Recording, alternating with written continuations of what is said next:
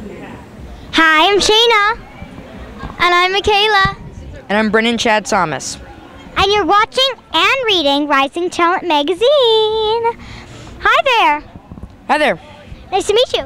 Nice to meet you too. What have you guys, what have you been up to lately? Well, lately I've been in this commercial. It's called Yellow Kool-Aid Fun Fizz, and I've also been in a Broadway play called All My Sons by Arthur Miller, and I've been auditioning like crazy. Wow. Um, what's this um play about? It's a wartime drama about a man who's lost his son in the war, and he's responsible for it, but he doesn't really want to admit it to anybody. Do you play the son? Uh, actually, I play the neighbor's son. I play his best friend's son. Awesome. That sounds exciting. How many auditions did it take? Uh, did it take you to get to where you are now? Well, it's I've had a ton. I've had probably over a hundred, but to get to book my first thing, it probably took me 15, 10, 15 auditions. Cool.